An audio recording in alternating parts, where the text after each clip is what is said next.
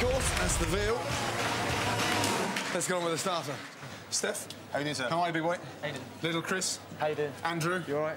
Nice to meet you. and Big Chris. so, four talented estate agents We are. and very talented amateur cooks, right? Yes. Estate agents have and the most amazing reputation Yeah, I think so as well. for being great bullshitters. Yeah. Tonight, there's going to be no bullshit. Tonight, we're going to look after customers yeah, uh, and we're going to deliver. OK, guys, come here. Let's do this together. Any questions as we go along, please? I'd really appreciate if you asked, yeah? Right, what you got in here? Sage, onion, and potatoes. Don't flood it with butter, otherwise it goes soggy, OK? So, nice and flat, That's it. and push, it down. around the sides, yeah? So this is called a potato rosti. Basically a nice sort of crispy potato cake, yes? Potato's cooked, so it doesn't take that long. But be careful you don't catch it. Yeah, I don't want to see it burning, OK? Eggs. Make sure you don't break the yolk.